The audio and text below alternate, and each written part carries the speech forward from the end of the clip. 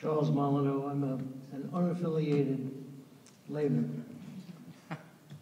Uh, One of the contributing factors, in a small way perhaps, has been the uh, activity of uh, the notorious Father James Martin, S.J., your fellow editor at America Magazine. At the very least, he's controversial.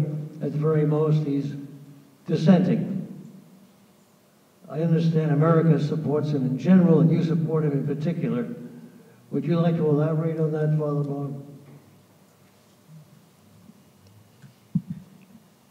Uh, no, not really.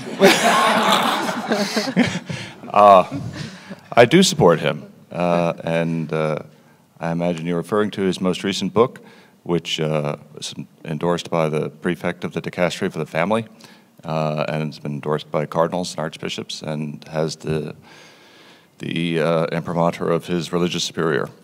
Uh, he enjoys the support of America, and uh, at the same time, he is not the voice of America, um, but we are proud to host his voice.